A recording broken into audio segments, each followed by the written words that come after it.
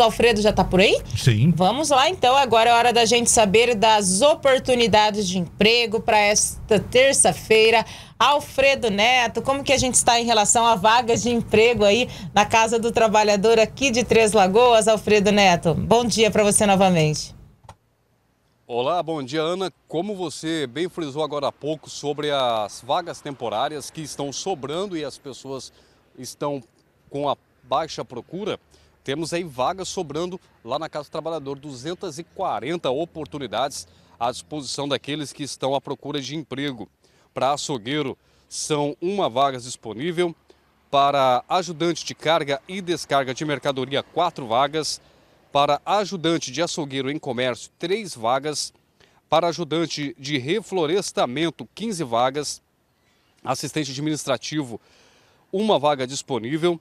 Também há disponível oito vagas para camareira de hotel, auxiliar de pedreiro, uma vaga, caseiro, uma vaga, também para campeiro no setor agropecuário, uma vaga disponível, chefe de cozinha, quatro vagas, ainda controlador de pragas, uma vaga, desenhista, projetista mecânico, uma vaga, eletricista de manutenção em geral, uma vaga disponível também há disponível 25 vagas para motorista carreteiro, motorista de caminhão, duas vagas, uma vaga para motorista de caminhão-pipa e ainda motorista de ônibus urbano escolar, duas vagas. Lembrando que é necessário os cursos capacitórios, tanto de transporte coletivo quanto de condução aí de veículos escolar.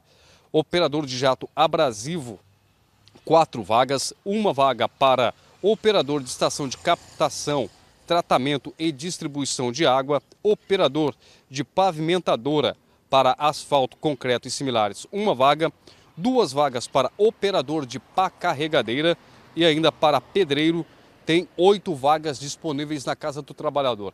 Essas e outras vagas estarão disponíveis para aqueles que estão à procura de um emprego no site RCN67 JP News.